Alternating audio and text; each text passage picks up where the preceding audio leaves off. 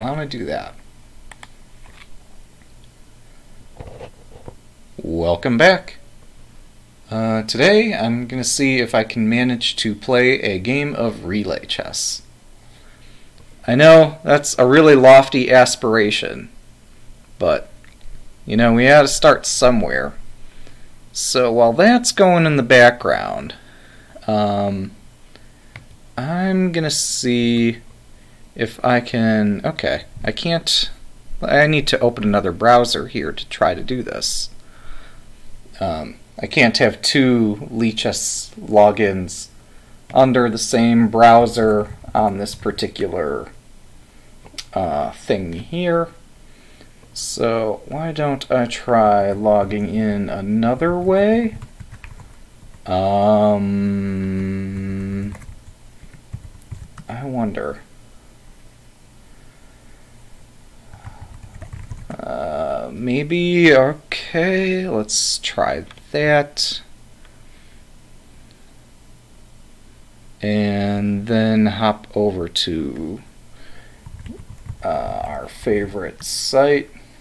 uh, I forgot, this is actually located at um, relaychess.moo.com. It's a really super official domain name. Um, okay, so have I gotten logged in twice here? Yes.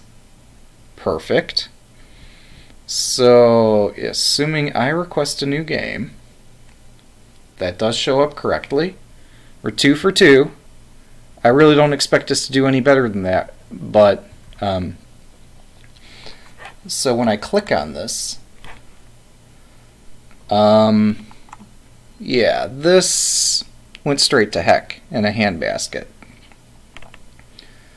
Uh, the game should auto abort, but also we should not be in this state to begin with. So something goofed up in the server side code, um, and it's my task to figure out what went wrong and fix it. Isn't programming exciting? So,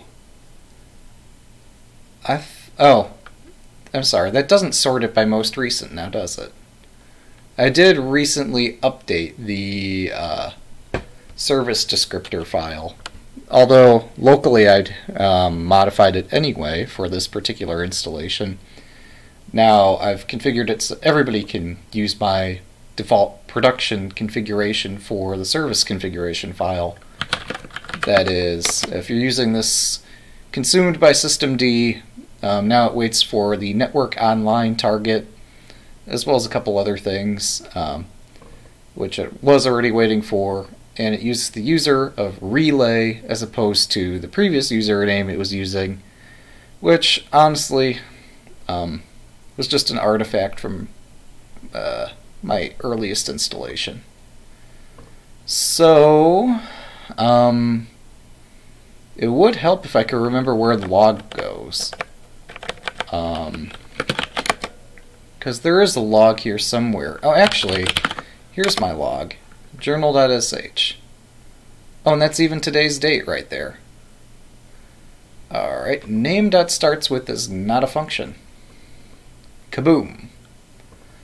Um, so, what have I locally changed?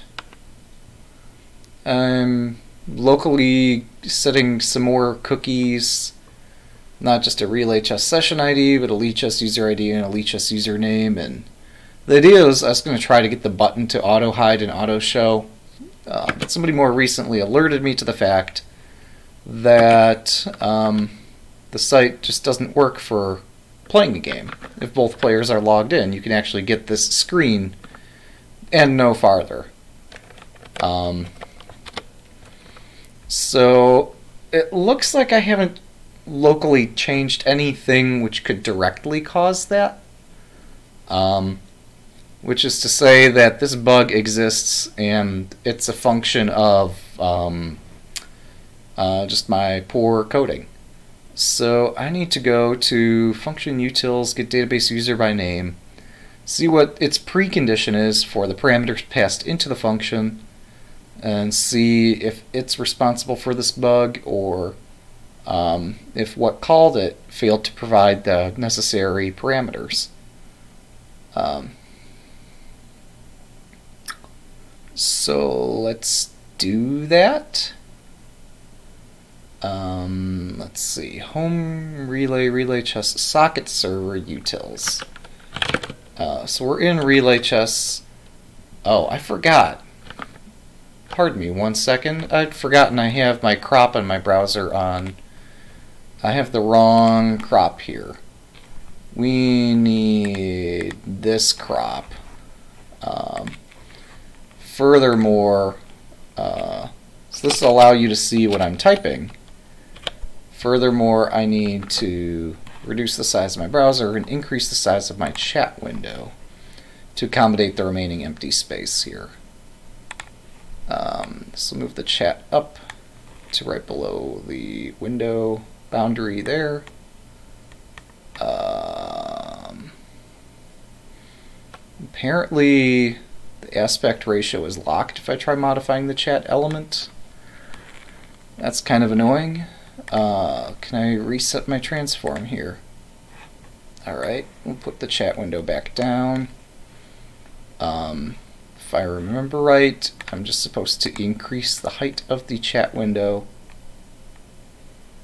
uh, from 24 pixels to 72 pixels. There we go. So now that fits. Now I've got my layout set correctly. Alright, that wasn't so bad. Um, so, let me think. Um, right, so I was going to go look at, and now you can see what I'm typing, socket server utils.js, line 21, referencing something, column 13 was the error. So name dot starts with um, okay, I added this comment this to do something better. Um, great. I remember I was having some problems with this code when I was writing that. So those problems have not gone away. I've failed to sweep them under the carpet. Um, I'm going to need to work my way through this. So, what do I do? Um, let's view, oh, the same file, line 143, game underscore dot white dot name. So that emits, so somehow a game had been produced um, that did not have a attribute called white or that had an attribute that was called white. Um, yeah, I wonder what is in this structure, this active games. Because, um, hmm. Yeah, this looks problematic, doesn't it? I forget how this is supposed to work. This is going to take a bit... Oh, hang on. I know how to debug things. Um,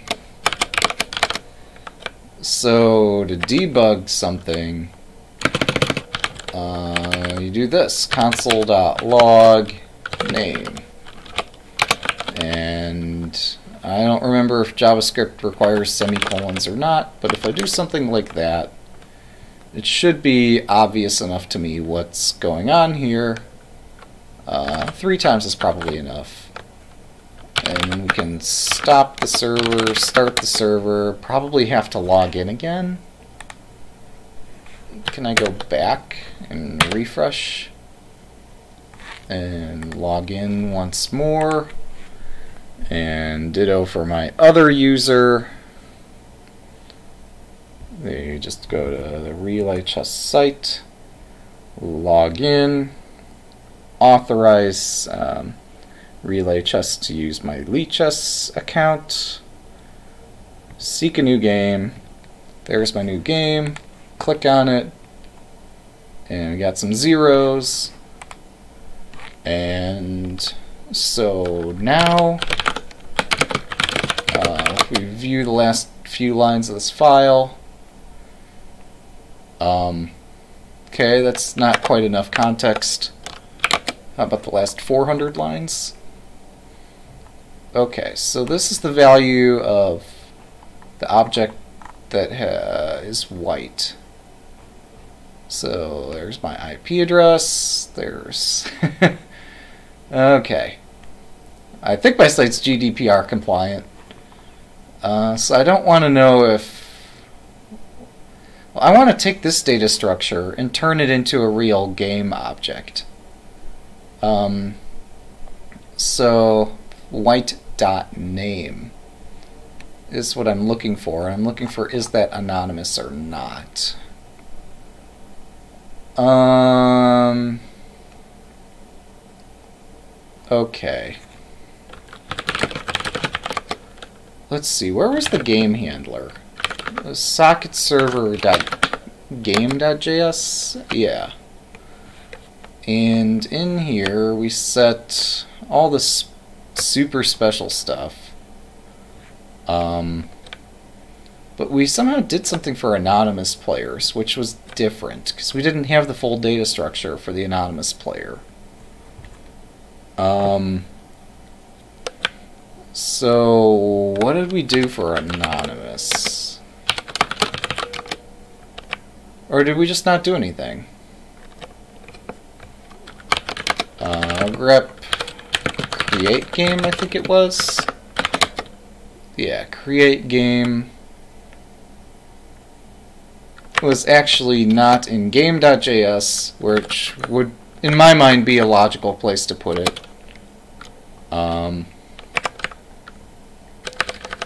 but it's instead invoked from this uh, socket handler.js.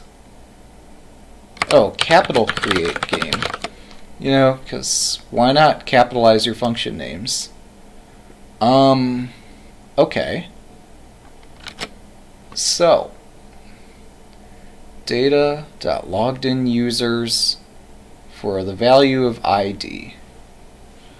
So, um, let me think about this.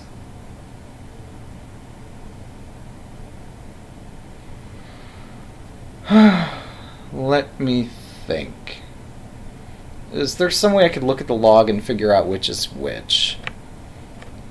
ID is not user.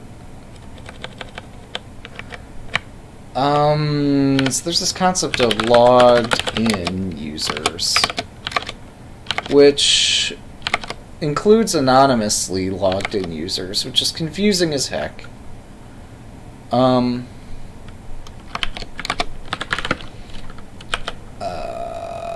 logged in in socket server. All right, what? How do we log in an anonymous player? Really, that should say like sessions or socket connections or something like that. Um, yeah, okay, so handle users is what handles the user registration. Um,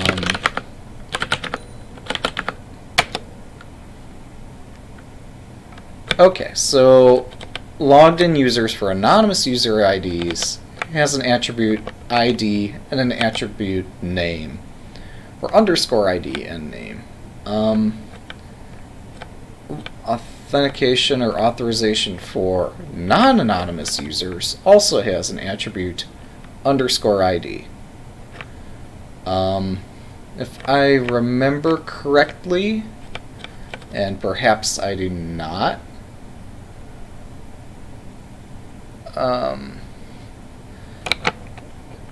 the thing that concerns me is that some of these IDs and names could cross each other, um, but so far that hasn't been a problem. Um, so now I want to go back to the uh, socket handler. Not this one. Like, this isn't where the create game was defined. Uh, handle seeks. Handle seeks is what called create game. Oh, I see. So this this gets the logged in user as well as user here. Now, why am I passing those instead of just passing the um, IDs of the users? I guess I should look at the contract of um, utils.js, this create thing. Um, so, name is not a name. Also, why does there need to be special handling for, um, yeah, good gravy. Why does there need to be a special case for the anonymous user? Um, regardless, the fact that this says the name uh, is kind of a lie. I'm sorry, no, that the fault is not of calling this here. The fact is we don't need this at all. This get database user by name. Um, uh, yeah, it's only called in two places, and in those two places we don't need to call it. Um, because we already have uh, we've already got the user information.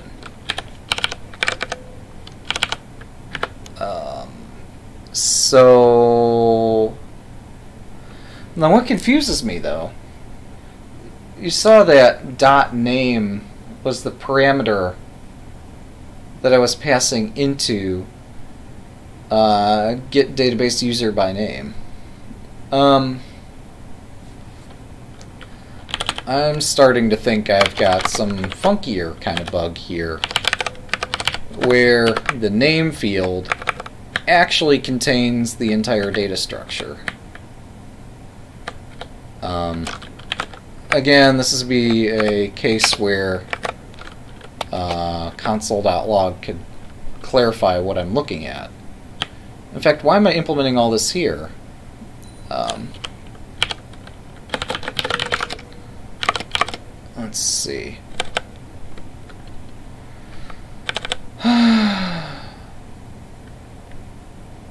if if my theory is accurate, um, then I should be able to skip over all of this. I forget how to do things in JavaScript because I never really learned JavaScript. Um, but I think this will work if if I can type 1 equal equal 1. I forget if it's capital true or lowercase true or whatever is equivalent to that. Return name. Uh, this isn't really a name. Alright. Stop it, start it, bop it, twist it, pull it, yank it. Alright. Refresh it. Log in it. Uh, what editor is this? This is just a VI operating over um, uh, SSH uh, remote login. So I'm just operating on a terminal with just a plain text editor. It's really a poor man's editor. Um, but it should do the job. Alright, so same behavior here. Um, let's see if we grab the last so many lines of this log. Should get some idea of here's my data structure. Um, so there's white is Godel bot with a title. Um, so my function was attempting to look up a player by ID and do something fancy based on that. Cannot read property title of null. What the hell? Um, handle games 223. So we've got a pretzel that's wrapped around a Rubik's cube that's wrapped around something else here. Um, but I think my theory is right that I was trying to look up a player based on something I've already looked up. So now what? Um, so here's our game creation function, which adds to the games list um, this white based on all these parameters, black based on all these parameters, and time and increment. So all this should resolve, right? Our player object had attributes of name, title, display name, and uh, rating. Um, so I'm so confused. Get players from DB and push. Um, yeah, I don't know what's up with the uh, what populates active games. I guess I should take a closer look at what populates active games. Um, but what I wrote is functionally equivalent to doing uh, the following here. Oops. Yeah, let's not use copy and paste. Tempting as that may be. And game underscore dot black dot name. So somehow my data structure's fucked. I don't know what's going on. Um, but by simplifying this uh, code base, eventually I should expose the cause of the problem. So now what? Um, public games, I assume... Oh, I'm sorry. Here's the declaration of public games. So that should properly send out notifications and stuff. Assuming that my player object has attributes of name, title, display name, rating. So do we have, um, do I have those attributes here? Name, title, display name, rating. Yeah, I have all four of those. Do I have all four of them here? Yes, I do. Alright, cool. So be able to stop this, start it, and experience the same error, but with less code. Uh, let's force refresh, because why not? I'm going to get a session that's as fresh as possible. Alright, force refresh over here. Log in with Lichess. Authorize Relay Chess. Alright, new game. 10 plus 2, accept. Alright, and we get our same old problem here. And if I run the log, I should see the same exception. Cannot read property title of null. Okay. And so we got a, This is different than the error we had yesterday. Not that we were streaming yesterday or anything, but um, I'm just saying, like, nothing I've changed today is causing this particular error message, so we're going to look at this one now. And we're making progress. Um, handle games.js, line 223. Handle games 223. Um, wait, what?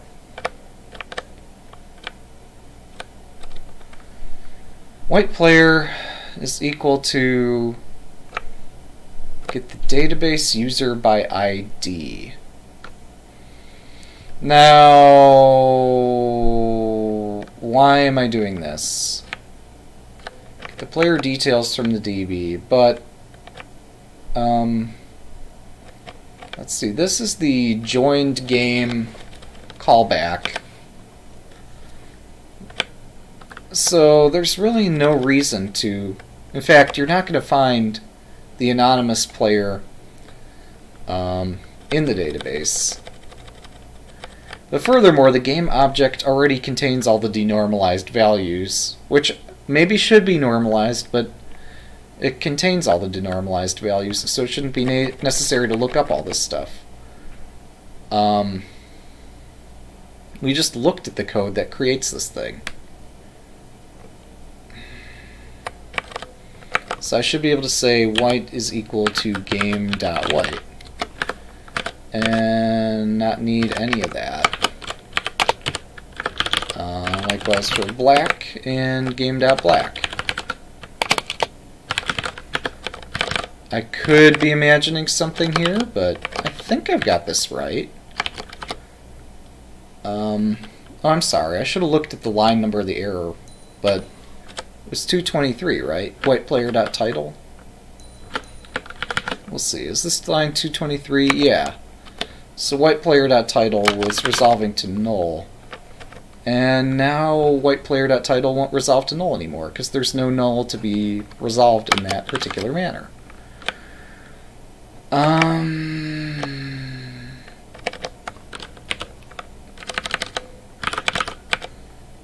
surely there's... Oh, wait, wait, wait, wait. Updated time. That's an interesting data structure. Um, hmm, hmm.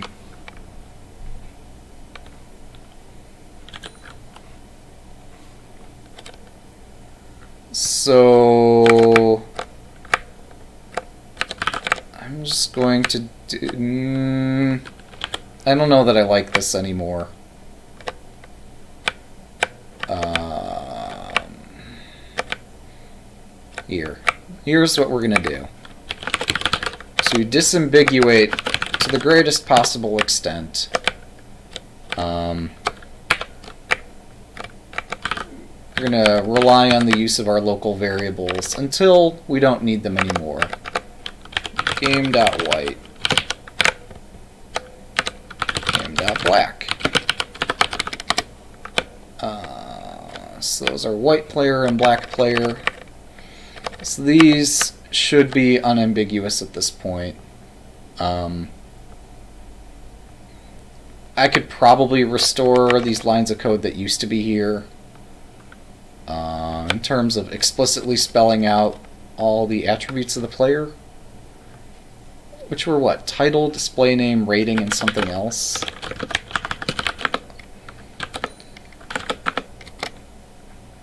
Title, display name, rating, and time? Really? There was an updated time attribute. And I didn't see it there. Okay, so that was the point of, uh, of that particular thing. So I do need this... Um, all this stuff here. 248 through 237. That's 12. Oops. Uh, yank 12.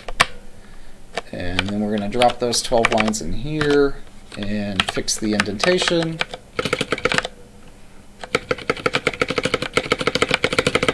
Ideally, you would not be doing this over a terminal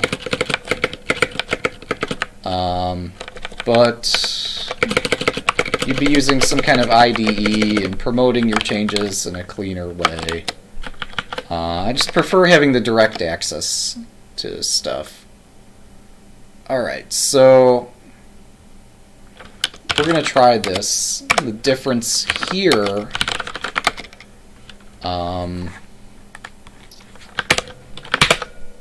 Also, ideally, you'd have a automated test that would somehow execute all this, so you don't have to manually execute it. I don't know how that would work for web development. Um, obviously, there are ways to do it. I just don't know what a reasonable paradigm would be for auto testing a web application.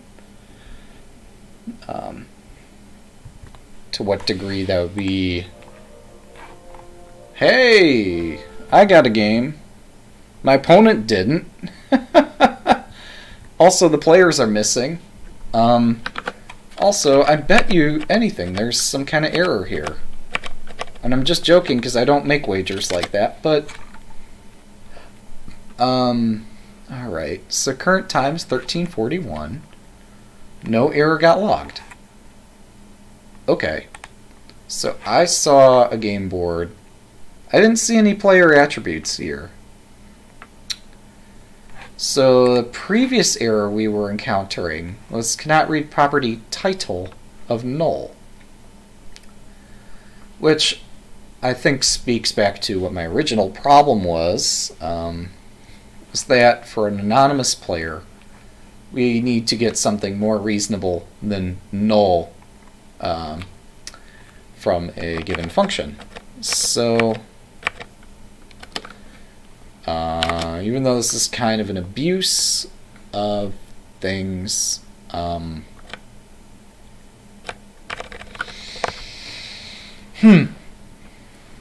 You'd think that there would be a player ID somewhere in that white structure. Apparently, for setting up a game, you don't need to know the ID of your opponent. Or it's assumed that the game ID itself is the opponent's ID or something like that. I don't know how this was originally written. There's a lot I have to understand about this. What I do understand is I got the nice little notification that my game started, but um, well, can I inspect the console or something and see did I have an error? Uh, oh wait, um, play failed because the user didn't interact with the document first. That's just the audio service. And we did get a noise, which was cool. Um, yeah, I'm confused. So somehow, um, what was earlier failing us was this um, fact that this would return a null value when we said uh, get the database user by ID. That was problematic. Um, and that it could find nothing and return null. Um, so what do I do for an anonymous user? Obviously we need to return something um, in order to be able to construct our game object, or our game object constructor needs to do something more clever. Um, if, and this is not the way I should be doing it either, user equals equals null, triple equals null, I don't know. One of these things.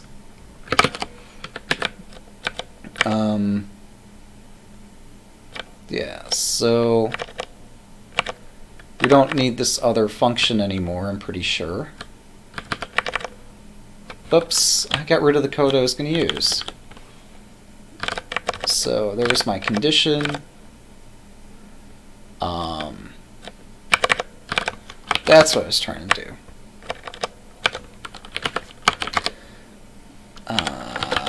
Is by name still referenced somewhere? Yeah, it doesn't need to be because we've already looked up the player. Um, now, why don't I stick one more attribute in this structure? Hmm. Because apparently somehow... Uh, I can understand why the previous developer didn't want to have more attributes than necessary, but in my mind, um, having ID values floating around can only help me as I struggle to sort out this shit. So, um, ID of, well, yeah, you just use the provided parameter and call that the ID value, or this might be a case where a null ID might be appropriate, so we can best differentiate between. Well, no, we still need the identity of the anonymous user, so we don't send notifications to all the anonymous users every time a game uh, move is played. Um, now, there's a good chance that what I just coded doesn't run. Hmm, it seems to run. Seems to have deployed fine. Alright, force refresh. Uh, let's go back. Maybe I can get both of these windows open to help expedite my testing.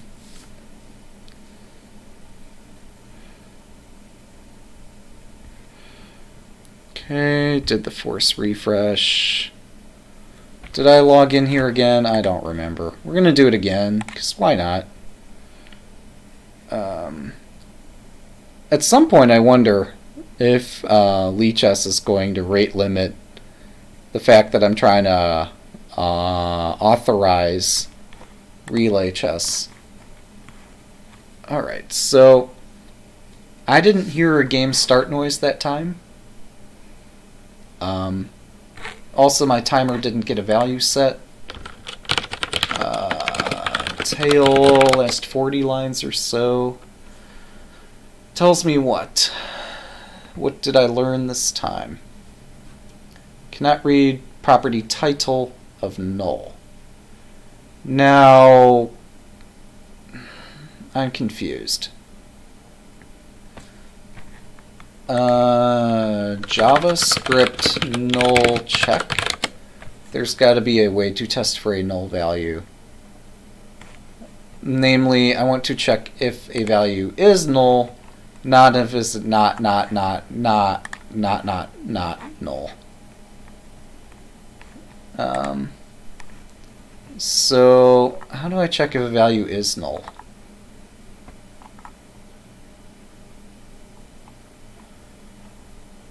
Oh, I think exclamation point variable is a way to check if it's null. Triple equals null works. I'm not sure if double equals works, but triple equals seems to be, um, yeah. So I confused myself. I've got an extra terminal open just to make things further confusing. Sorry, didn't mean to catch you off guard with that. grep equal equals null wherever the heck I put it. Oh. Oh my. But I've been just I just learned that um, the triple equals operator is what I should be using for a null comparison. Not that you should ever have to rely on things being null, but um, double equals null is now triple equals null. Uh, next, find replace next. Ideally, you'd have a sed pattern that would just auto find and re auto replace. Uh, okay. And now if we look here, we got triple equals null all over the place. Oh. Um, except in utils.js, I didn't yet take care of that. And now it's taken care of. And yeah. Alright, we'll stop and start and redo the test. Force refresh here. Go back and to the lobby and we're gonna log in with Lichess. Authorize relay chess log in with Lichess again, uh, authorize relay chess. Okay. New game. 10.2. Accept. And I'm still missing my game timer. And if I check my log, now what happened? Cannot read property title of null. Alright, and this is again at socket server handle games .js. Uh, hit apostrophe toward the end just to make things exciting. It's just me missing my enter key. So white player is null. White player is the thing that we looked up this way. Um, so get database user by ID yielded a null value despite the fact that I just changed that very function um, to never return a null value. Like, last I checked, this is not null. Um, hmm. So, unless there's two of these, 223, right? This is the value of white player. White player is what you get when you get database user by ID uh, as defined by utils.js. Um, so yeah, now that's definitely a function of the socket server. What have I messed up here?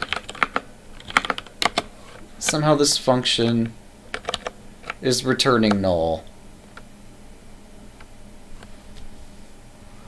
A function can't return twice, right? I mean, assuming it can, then I want this to happen instead of returning on the second return statement. But I thought return would return out of a function. Yeah, I just looked it up.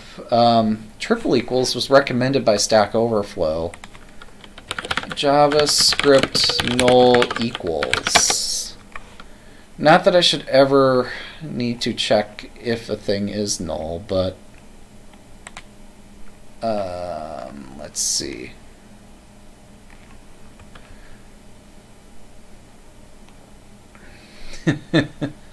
Here's an example from jQuery source code. Um, so no, I had it right the first time. The guy who posted the thing on Stack Overflow had it wrong. Go figure. Assuming I'm to trust this website. Um, I'm not sure if I am. Which equals operator should be used?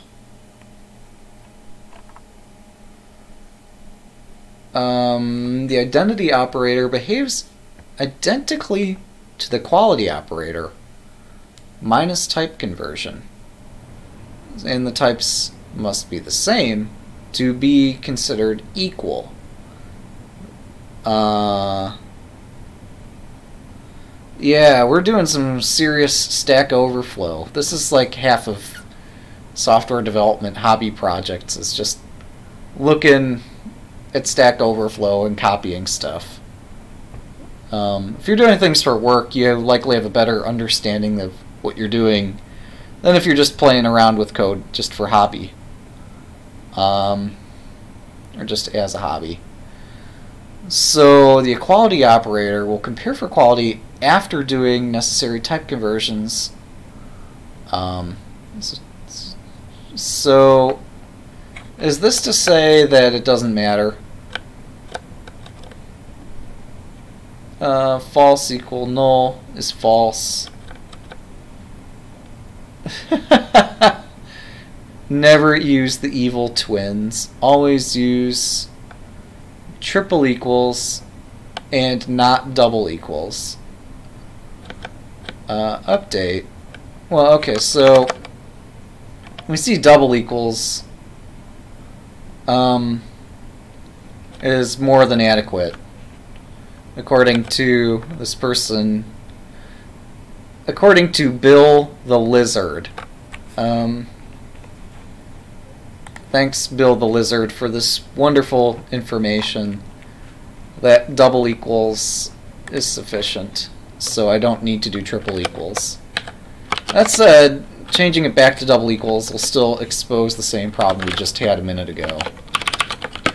Um, so when I go back into socket server, game.js, go find our triple equal operator and change it back. And then into handle games and handle users. Um, so there's our triple equal operator. Next. Okay, there's our triple equal operator. Changed it back. It's not going to fix anything. Um, looks like triple equals is right. The identity operator is right. Because you want a polymorphic comparison. Really, um, all I care. I mean, I might be thinking about this incorrectly. I didn't write, um, I didn't write the MongoDB driver, this find one function. I really don't care what it returns. Um, I just care that if I don't find the user, um, that this function returns something sensible. That said, I really shouldn't need to call this function in the first place if I somehow know that my user is anonymous. Um, but I don't think the way this is currently written gives me the ability to know whether a user is anonymous or not. That all said, like if I'd written this from scratch, I would have no anonymous users. That would be a version 2 feature. Or version 1.1 or 1.2 or 2 or whatever. That wouldn't be something we would have as a feature at launch time. I would just focus on getting authenticated user play going first, and then worry about the fringe condition about somebody wanting to use the site, um, but not wanting to log in for some reason. But the code was written. I didn't have to write most of this. Just the trade-off is that I have to deal with all the bugs I introduce as I touch anything. So, again, our timer didn't get filled in. Again, like it, we've tried it both ways at this point. Um, with the double equal, the equality operator, we tried it with the identity operator, triple equals both ways we get the same error message that uh, handle games is returning a null value. Uh, I'm sorry, no, that the utils class attempting to look up, um, well, undefined. Now that's another problem. Is like I shouldn't have been attempting to do a user lookup based on a value called undefined, right? So I think I screwed up earlier somewhere. And so let's handle one things handle things one at a time here. Um, so handle games.js 223 is where our error is occurring. By the way, this is this source code is all published on GitHub. Uh, search for relay chess should not be too hard to find. If you have brilliant ideas to how to fix the code, I would gladly accept a pull request fixing it. Uh, as long as you understand that I am going to test that and make sure it works before I merge it. Um, so whiteplayer.title is null because here we're attempting to do game.white.id. Um, So we're attempting to look up based on a value of undefined. So I think I want to try to define game.white.underscore ID. so this is the callback function. Um, I think the game is created by handle seeks.js, which tries to, let's see, answer seek. Um, does this not, no. Um, grep white in all these JS files. Of course, this is too much information. Somewhere in here, something creates the game. Um, so if you have a timeout, this is what the data structure looks like. Here's the thing I was looking for. Apparently it's in utils.js. I didn't think it was there. This organization, this might be subject to improvement at some point. Emit active games. So, so had this, had this created um, everything, then it should. Oh, there's one typo here to start with. Um, that might have something to do with it. I had white player instead of black player. That was something I introduced today, so it's not the fault of our original developer. Um, but I'm not sure if that's going to fix everything. It might help. So this public games is an array that's constructed inside emit active games. Um, somehow this data structure of white gets populated um, which happens to have like all these attributes in it, name and title and display name and rating.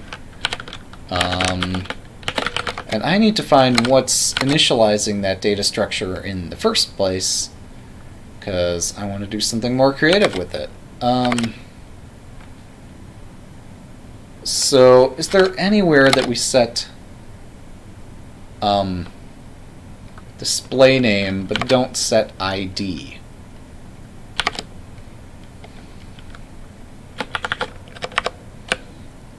So instead of searching for white, which is used all over the place, let's set display name. Uh, so it's just in handle games, handle users, and utils.js. Those are the three things I need to look at. Uh, let's look at handle users, because we haven't looked at that in a while. Um, so, display name. Okay, so this handle users generates an anonymous user's identifier for the purposes of future requests with that same user IP address and so forth. I don't know all the specifics of it, but as long as we're setting this attribute ID in all the cases where we're setting display name, then ID should never be null or undefined. Um, unless somehow unthinkable happens, and I don't know. Um,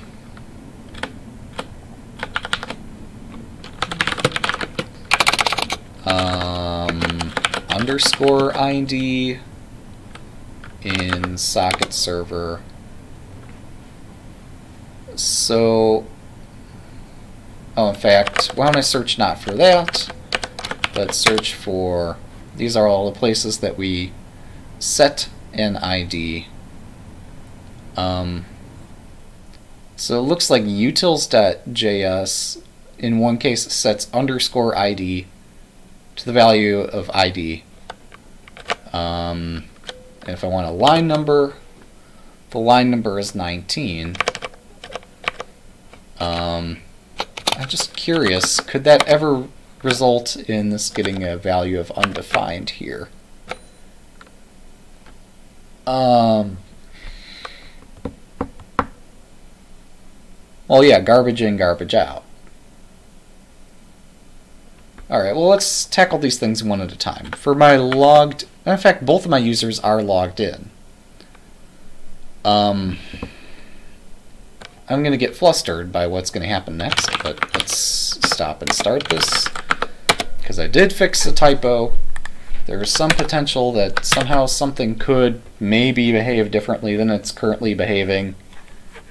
It's not going to be any different, but we need to do the experiment anyway because I don't understand the code well enough to uh, use analytical methods to figure out whether or not it would do what it should have been doing. So, further confounding this is that the games are stored in the database, so there's a potential that um, all this code could be working if your database contains sane data. So there's that. Um, Alright, so what was our error this time around? It's altogether possible that I'm trying to restore from a game that's invalid. Um, so let's explore that possibility. Um, that is to say, let's go back to the lobby, force refresh here, back to lobby, force refresh there. And so, uh, as far as I'm concerned, I'm no longer in the game. Although I see there is one game in play. Hmm. Alright, we're going to stop the service. Mongo, relay, chess, and see if I can remember anything about how MongoDB works. I think show collections is a command. Uh, game.find db.game.find. Alright. You can hear the faint music in the background. Sorry if that's been running the whole time. I don't know if it was or not. Uh, db.game.find um, subject to criteria white is me? No. White is capital me? Okay. Um. Jeez. How... White is not the attribute I want to be looking on, is it? Here, let's try something different. Time of 10. Alright. So, I don't think there have been very many 10-2 games on the site, although apparently I'm mistaken. Wonderful. Um, is there a created at attribute? A date of creation of the game. I'm just trying to find out um, are there games which have no moves? PGN of empty string should be sufficient. So I think that's to say that there are no games with an empty PGN string. Um, I think that satisfies my curiosity. Um, unless, hmm, is there a way to search a collection for uh, a missing attribute. Uh, so I want to search for Mongo collection missing attribute. There's a um,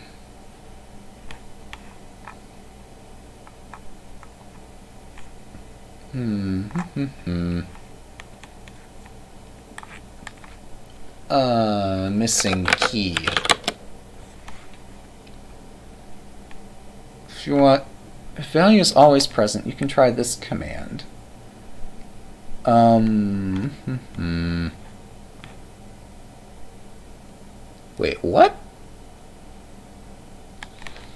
That's the opposite of what I'm trying to do. Find embedded element missing a key. I don't even care if it's embedded or not. I just want an element that's missing a key. Um,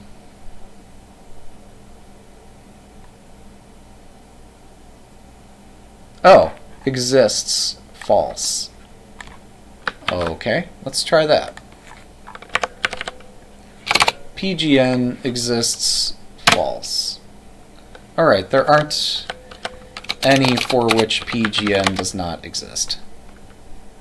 That's to say, I'm not dealing with bum data. As far as I know.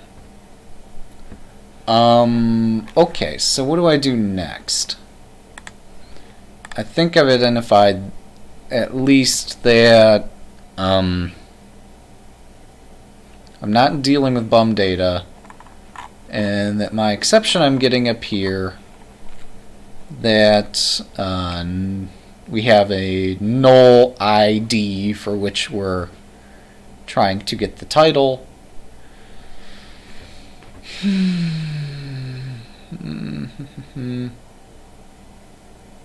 I'm so confused. Why is everything completely backwards? Uh, so we're just trying to create a game, right? Except that's not in handle users. Handle users just has the delegate for or the callback for notifying the players once a game has been created. But the actual game creation, no, it's not done in there. It's done in handle seeks. Yeah. Create game random. So, create game random is taking the ID of the logged in user, uh, user object. What's this user object? Um, this user is the user accepting the request, if I remember right. Yes, ID is the seek ID, which happens to be the same as the ID of the person who created the seek. Uh, if that exists, then we're going to where did user come from? Uh, user is um, the server user by socket, which I think also is a fully formed user identifier. Um, so the socket is the socket of the player that's accepting the seek. So between this and that, we should have identified everything that's necessary to create a game. And the rest is just a formality. Let's change directory into socket server. Uh, create game is defined where? Game.js? Yeah. Create game random. Alright. Yeah, this isn't actually seeded, so create game random does not randomly assign colors, although it should. It just isn't working correctly for some reason. Although maybe it'll work. I don't know. Um, wait.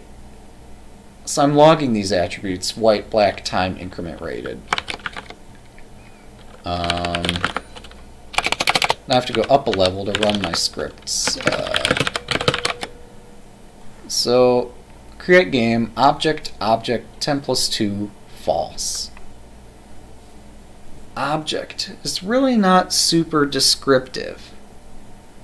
Uh, I don't know how to introspect an object in JavaScript. Like, that really is not descriptive.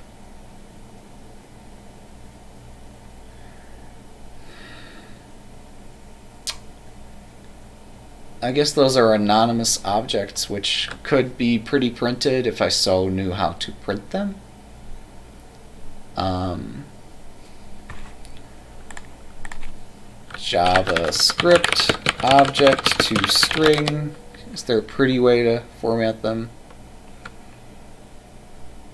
JSON.stringify object. Well, you know, if I've got visibility to JSON there, um, that would do it. Does my function even have visibility to JSON? Mm, I don't think it does. I could import the proper library to do it, but yeah. Alright, so so we looked at create game random. create game random calls create game. Create game calls new game, game being a lower lowercase uh, class. I don't know if that's a standard or not.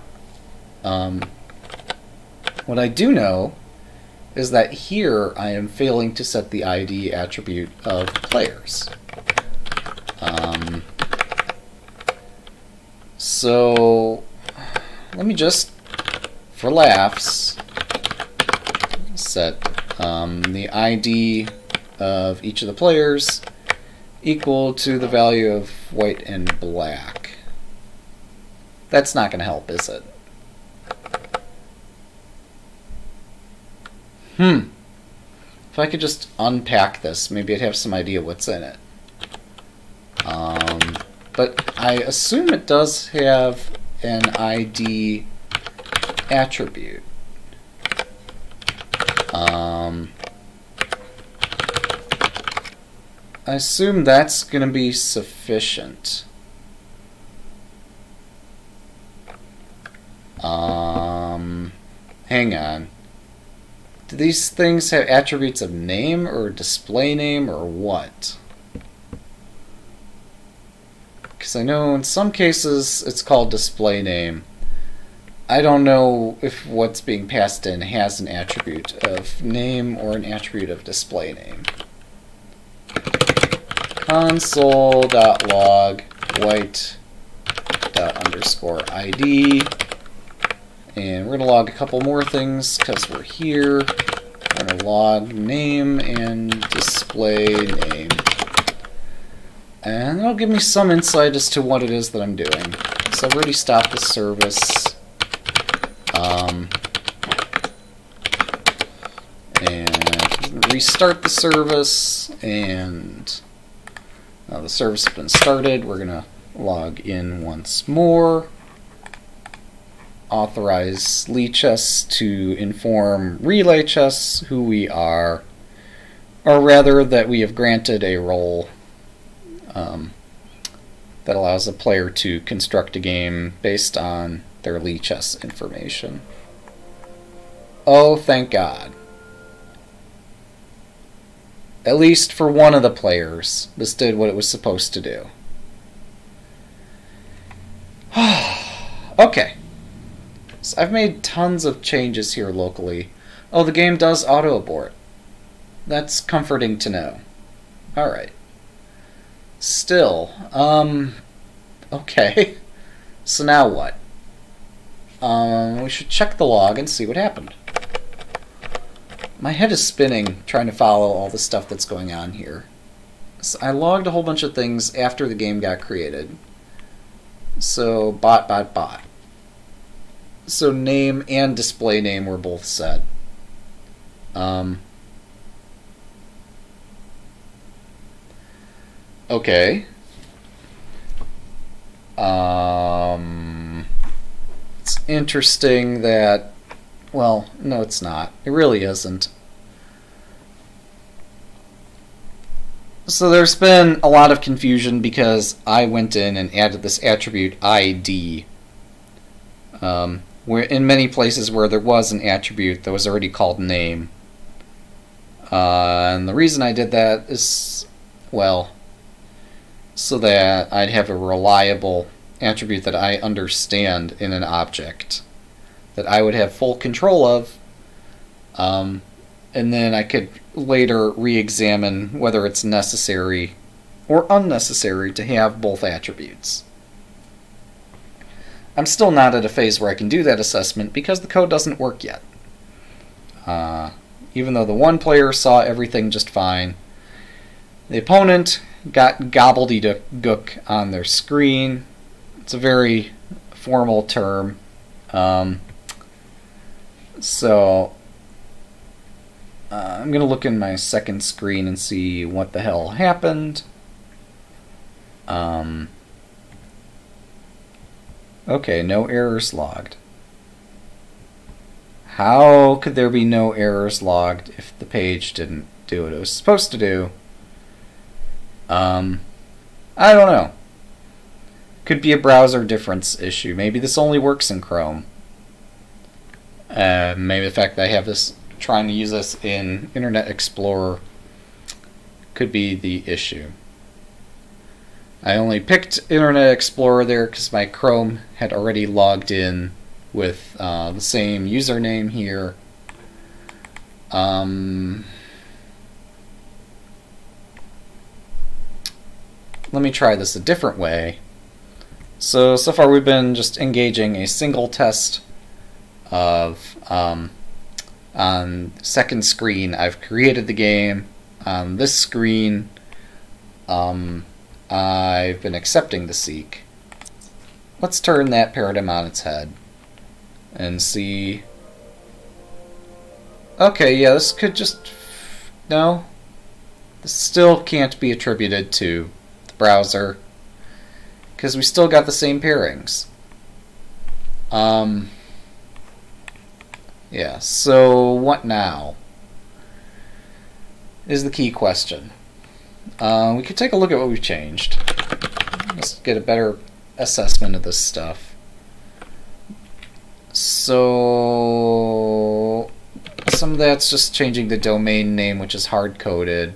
Really, it's the socket server changes that need to be considered in more detail, um, which are uh, well, I don't need that logging there.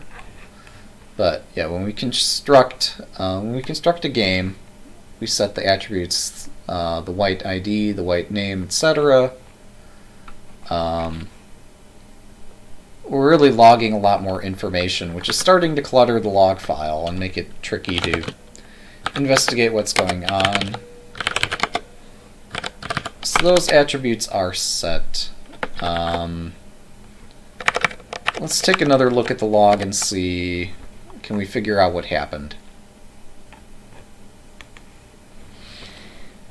Game started, game aborted. I'm curious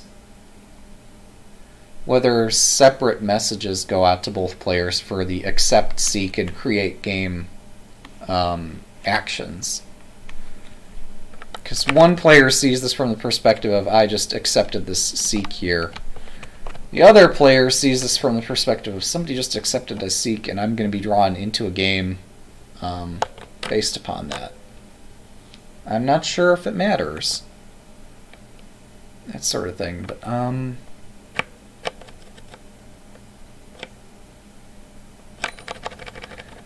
var p1 is white, math at random is less than a half. Um, not totally sure what's going on there. Um, I could take a brief digression.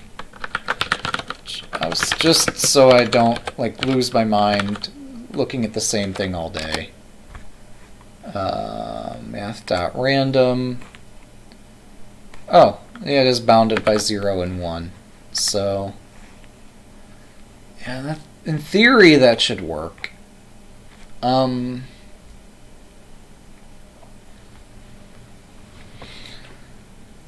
so what more is there to look at? Um, module exports as game, and that's the rest of game.js. Handle seeks defines exports for uh, submitting a new seek uh, for a player answering a seek.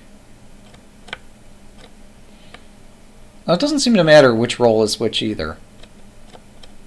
Now that I think about it, this could be completely unrelated to what I'm trying to test. Um, I guess the only way I can know what the problem is is to try um, going to log out of Lichess in Chrome. I'm sorry, in Firefox here. That's still not good enough. Uh, let me open up another browser on the same computer. Uh. And we'll try, um, if I can remember what it was something like that maybe? Okay. and then go to relaychess.moo.com, log in with Lichess here. I'm going to run the same experiment all from one machine. Hopefully the fact that it's the same machine isn't going to pose any technical difficulties here. New game, 10-2. Uh, accept this game. Okay, I get white. Um,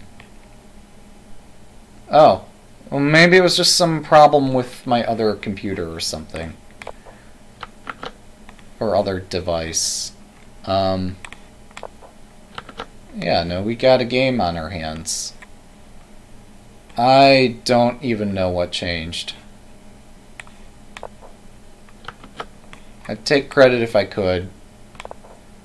Taking credit is simply not possible here. So, apparently, somehow I got this code into a steady enough state that I can play a game. Um, next task. Um, should I choose to accept it, is... Um, we got to figure out how to get um, this code checked in and usable by other people. Alright, so is this mate? This looks very matey.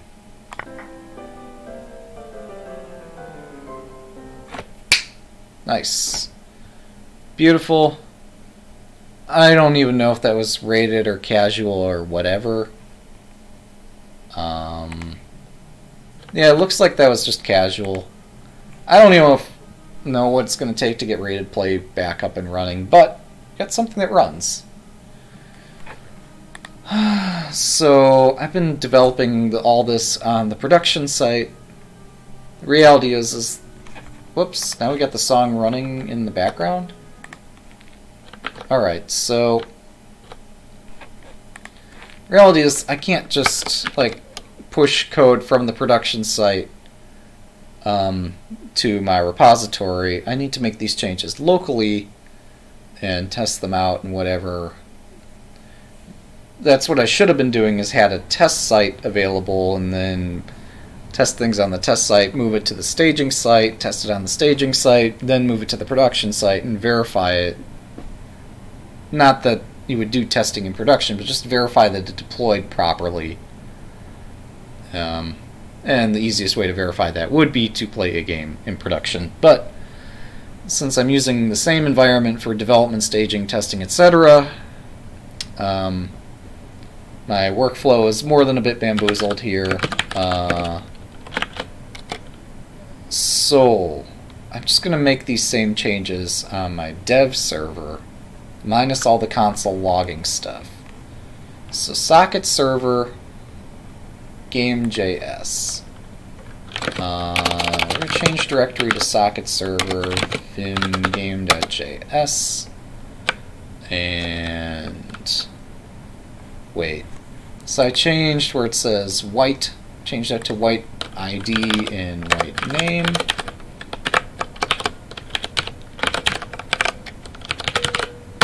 Likewise, here where it said name black, I changed that to uh, black.id and black black.name. Uh, what else did I have to change? Uh, I changed utils.js, got rid of that dumb function which um, was doing something undesirable.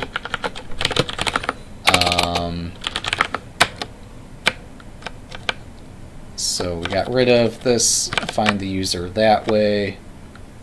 Um, I still maintain that there's a better way to do this. Uh, that's how I checked it, right? If user double equals null, then, I mean, yeah, I could return here Yeah, fine. We'll leave the return statement in there because that seemed to work for some previous version of the code. Um, then I had to go to line 140 in that same file. I didn't have to. Um, well, no, I did. I did have to go here because I undefined a function name. And this is just game underscore dot white dot name. Game dot white dot name. Don't know why this works, but it does. Uh, game dot black dot name has all these fancy attributes in it.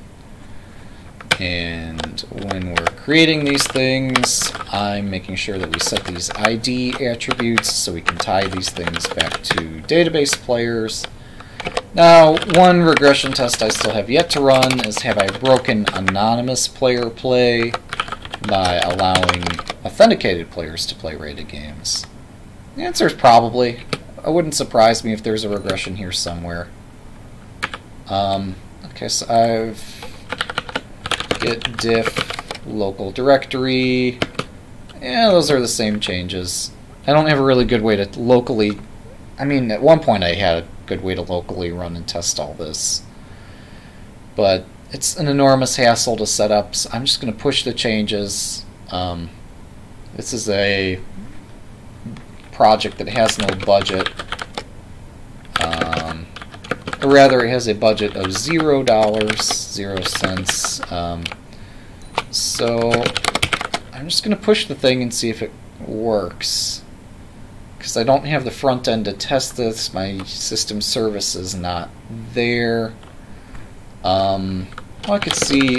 Let's run this serviceless, right? I could at least attempt to run Node if it's still installed and up and running, although I recently upgraded my OS and lost a lot of packages. Um, yeah, I don't have Node locally installed, so um, I'm just going to trust that I got this right. And if I got it wrong, the commit history will show what I fucked up. Um, oh, actually... Uh, yeah, what I should do is create a test branch. What we're going to do here is create a test branch. Git checkout branch test. Commit um, refactor game creation uh, logged in. Wait, no.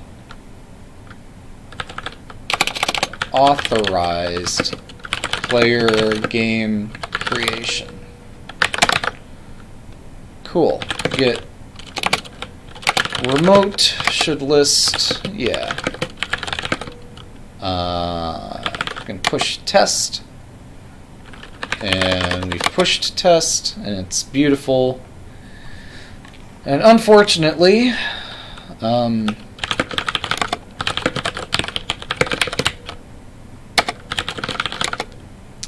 Oh, something else changed. What the fuck else changed here? Um, so we've got stuff in app.js changed. Oh wait, no. This is not going to matter. Um, because uh, I can say git fetch origin, git checkout test, and the changes are on separate files, so I can check out the test branch and hot deploy it. Um, now, of course, we have to go retest stuff because I redeployed the site I'm using production for testing because I don't have a test environment set up. Uh, so let's do that log in with Lichess on secondary, log in with Lichess on primary. Uh, new game 10.2, accept. Nice. Player randomization evidently is not there. Um, but that aside, this is beautiful. Um, is there an efficient way for me to checkmate my opponent. Gosh, I wish. Boop. Alright, so I want to cut the king off from the rest of his army. Otherwise, he'll be able to run away. So let's plug that in the way. And then this is mate. Nice. Alright. So my test branch evidently is good enough. It's certainly forward progress. Uh, the regression test is once players have logged out, I don't have a way for them to log out yet, but once they've logged out, does the site still support um, anonymous user play? Is the next question. Okay, but I think we'll save that question for another day. We should address it right now, but this is, again, a hobby project, and there is a way for people to play on the site. You hit the login button. So let me complete my development here. Git check out. Oh. Uh, master git merge test. Um, git log will indicate the message, which is cool. Git push origin master, which is beautiful. Alright, that all works as it should. Stop the site. Git check out master, git pull, looks up my latest changes, git branch, delete um, uh, test. Uh, actually, what I should be checking out is origin slash master because I don't intend to do local development here. Um, git branch, delete local development branch for master. Alright, so, and then we can start the site back up and verify that it is in fact running. And then since we verified that, um, let's see, git branch, delete test. And there's one last place I should go to delete um, the test branch, and that's on the actual uh, intermediary server um, or repository here. Um, that's not what I was looking for. I'm looking for. Here we go. Here we go. Branch and test are in fact in sync here. And what I want to do is uh, I don't need the test branch anymore because um, master branch now has the test merged into it. That's to say that we've staged it. I should have called it stage. Whatever. Good enough. Um, so it's just the same code we had a minute ago. Um, I need to verify it deployed properly. We're going to do a bit of a different test here just for that sake. Let's play the computer. Level 1. This is just running in JavaScript. It has no dependency on the server. So there should be no challenges running this, no potential challenges running this. Just like everything about this should be happy fun time. Check. Um, minus the fact that I'm going to get pwned. Okay. You win, computer. It works. So, yeah. I think that was a valuable uh, development session here. Um, is up and running. Uh, you've I used this as a system uh, systemd monitored process. So uh, as long as I'm not logging overly much, it'd still be useful for me to log something other than object object here. Uh, I could log the IDs of the players or something like that.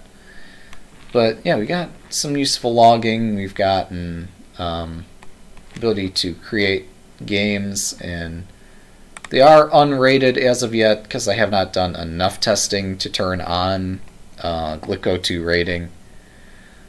Um, I have ideas in mind for how best to do that rating, and it's going to be really super complicated, but one thing at a time. So, um, that said, I guess I should complete this test by losing a game, right? Alright, how do I expose my king badly enough to lose a game? Here, just take my stuff, will ya? Um, check, that's a beautiful check. check, That's also a beautiful check. check, That's check. check, You're gonna keep checking me. Ah, right. We don't have a checkmate noise. Um, but no, that's checkmate. So spiffy. Um, actually, we do have a checkmate noise. I just haven't applied it to this um, playing against the machine. Nor is there a take back button or a move list here. So a lot of features I do want to add, but um, yeah, at least now you can navigate. Do I have at least the link for the site here? Yeah, there it is. Well done, bot. That was the other thing I got running lately was my bot. So, um, mission accomplished. All right. Um, yeah, hopefully uh, this will be stable. Feel free to test it. If there are bugs, please let me know. Um, it's been exciting. Um, really, the most exciting part of this project for me, other than being able to play on the site, and it is a great variant, the most exciting part was getting the login with Lichess going. So you don't even have to like create a separate user account or anything anymore. You can just go here, click on the button, and if you have a Lichess account, uh, you can authorize Relay Chess to know what your Lichess name is. So you could use that same name here. Um, so, is the site GDPR compliant? I would say to the greatest extent possible for an amateur project. Um, although I will work on it because uh, ultimately we do want people from everywhere to be able to play, not just people located in the U.S. We want everybody to be able to use the site. So to that end, um, I do need two things to work here. Um, one is the concept that if you had any personal information, for example, a title, I guess, could be considered personal information. Although, arguably, it's also public information, so it really isn't that personal. I don't know. I mean, it's easily looked up, but I need a way to maybe be able to scrub the title. I, I have to think more about that. Um, but two, there needs to be a log out button. Um, it is true if you navigate away from the site, the site won't show that you're online anymore. So, for example, if I just navigate away with uh, Godel there, it's no longer online. Um, but people want to be able to safely log out of the site. Um, so that's something I'm going to need to work on. Um, but yeah, two, if there is identifying information, then I'll need to figure out a way to be GDPR compliant with respect to that information. Although I assume I already am, I don't know. Um, I don't retain emails, I don't retain people's names or anything like that. I'm lucky just to be able to get the Lichess usernames straight and differentiate that from an anonymous user. Um, but yeah, the next big step here would be getting a logout button working and making sure that there's nothing still around which requires an email. Um, since the site has moved, uh, the URL is still the same. The IP address is different because it's hosted by OVH. And uh, in the host, when we deployed this to the cloud on affordable cloud, whatever it's called, um, within OVH, they had a really awesome deal for a single core machine that was pretty bare bones. It's the same machine that is running my Godlesher bot on Lichess. So the same resources are going to be directed toward running this server as running just a copy of Stockfish. Um, that all said, I don't anticipate any trouble. If there is trouble, we'll figure it out. Might need to dial back the Stockfish a bit and make it only like play Ultra Bullet or something if there is a challenge.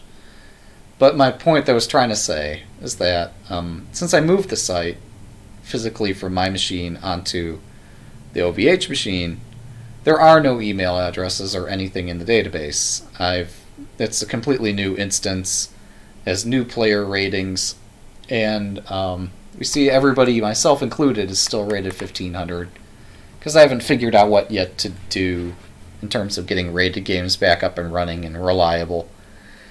But gameplay should be working, which is exciting.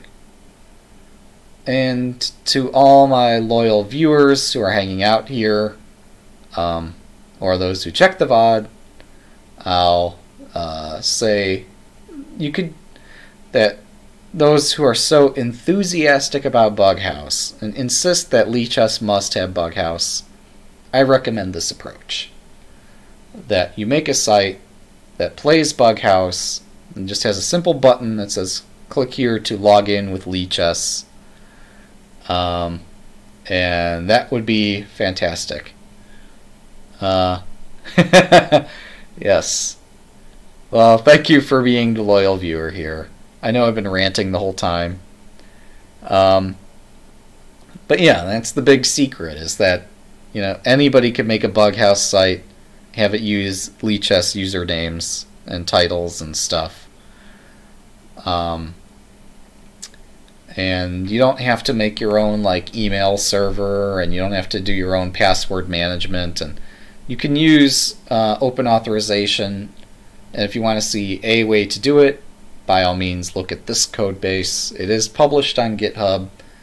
You, again, just search for the name RelayChess. So I'm going to be recommending that in the future now that this site actually has working logins and working ability to play games. It's a replicable model for Bughouse. Not saying that this site actually plays Bughouse, although, you know, maybe I'll add Bughouse in the future. We have Bughouse Relay Chess. How mad would that be? No, I'm not doing that.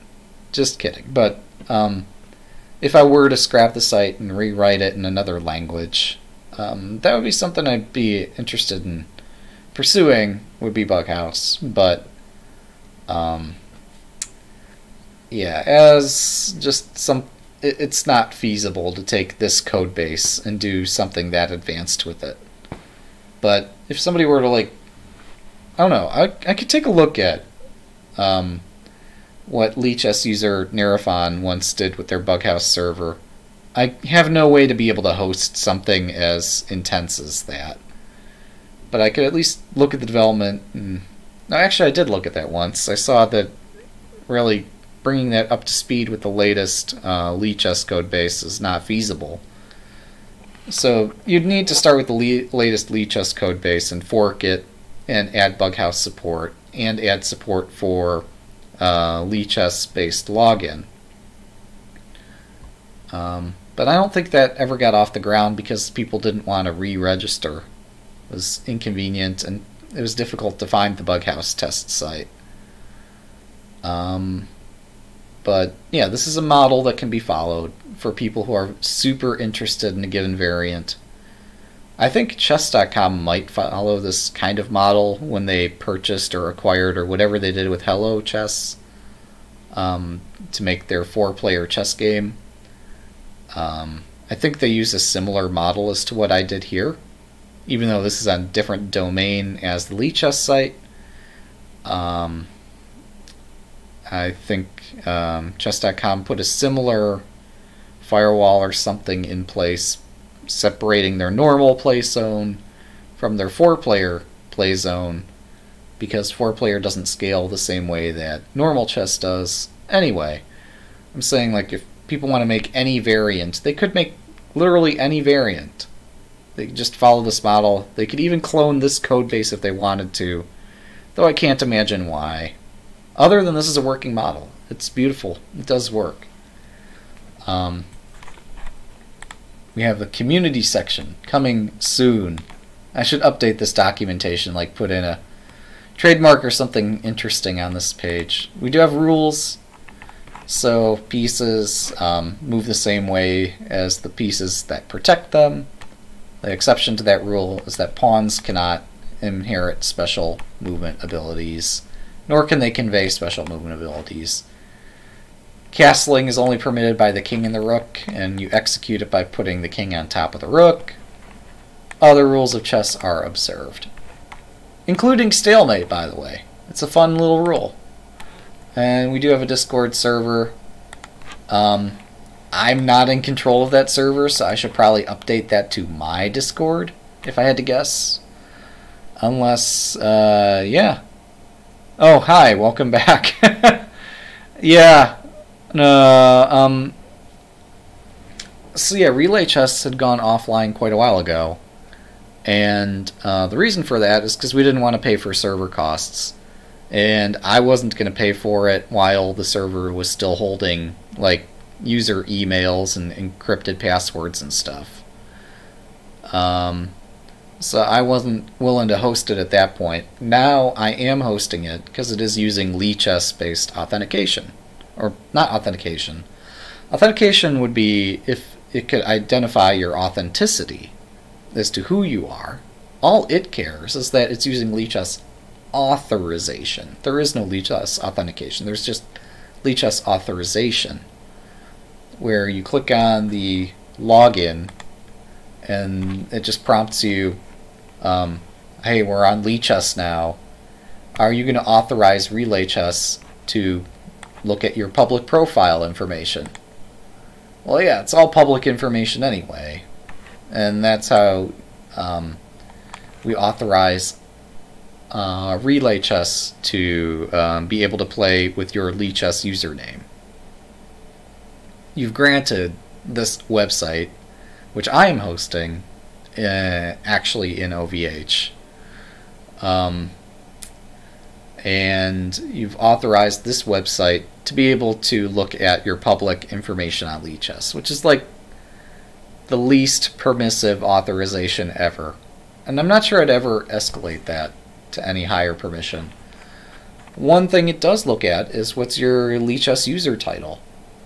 And I need a way to keep that title up to date, which I've not done yet either. So um, the original developer was thinking that like adding all kinds of chat features would be necessary for version one of the site. I kept pushing back, saying, "Let's look at this Discord thing." And yeah, really, Discord is the place where we can discuss uh, Relay Chess best. But um, I'm not in charge of that Discord, so maybe I should update that to point to my thing. Although my thing is quite overwhelmed by Git messages at the moment from all the Stockfish development I'm doing. So, what can you do? Anyhow, um, yeah, feel free to test this out. Again, the URL.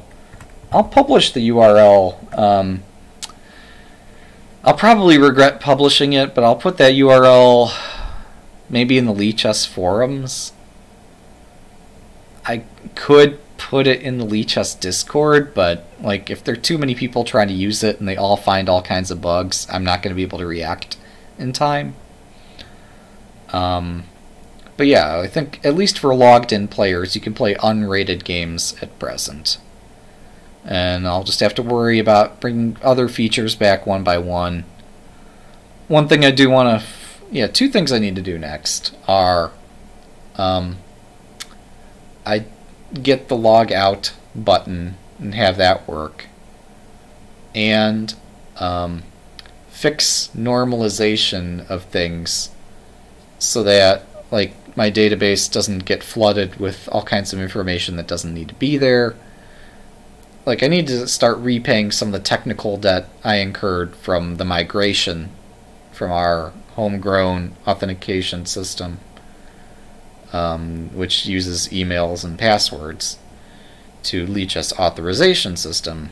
Um, so now we have all these attributes, which are an ID, a display name, a name, a Lichess username, a session ID, a Lichess session ID. There's all kinds of attributes here. I need to simplify that model um, into something much more refined so that um, the site doesn't creak and start stuttering, um, but scales better as new features are introduced. Either way, the original developer original developer was quite excited to see that I had done something with this, um, and I was I'm still very grateful um, to Thibault for his assistance getting the last the most crucial parts of the authorization working. He was looking for some sample application, some uh, developer who was very interested in being able to use Lichess authorization as it was being rolled out. I gladly volunteered my site, um, my my copy or repository of this project, and that's how I got to be hosting this site. Um, I went ahead and created the um, the machine on the OVH server uh, so I'm paying its trivial monthly fees for it to be hosted out here. Um, if there are problems with it, I'll see what I can do about it. Um, but I don't anticipate there being problems. They had an excellent deal for, well, yeah, single core machine with very limited memory and very limited capability. But it's more than just like capable of holding websites that are made by FrontPage. Um, OVH does a great job with their services in general. And so, yeah, it's kind of like a DIY solution for um, hosting stuff. So, as long as you're willing to do everything other than provision the hardware and provision the trivial operating system to go upon it, as long as you do all the system admin work um, and all the application development and all that sort of stuff. As long as that's all on you to administrate the machine, they'll provide the hardware, the electricity, and a trivial version of any OS to go on it. Um, so that's how I got involved in administrating this site. Um, yeah, I think I've ranted long enough here. So, um, that all said, thanks to everybody for watching. It's been good fun here I'm gonna host up. I think our friend Andy Boing is still going here. Let me verify that. Yeah, he's definitely going. Alright, yeah, we're gonna host him. If I can remember to leave open my chat window long enough for me to perform such an operation. Anyhow, yeah, thanks for watching. It's been fun, and uh, we'll see you all next time. Uh, have a good day, night, or whatever time of day it is over there. Uh, see you next time.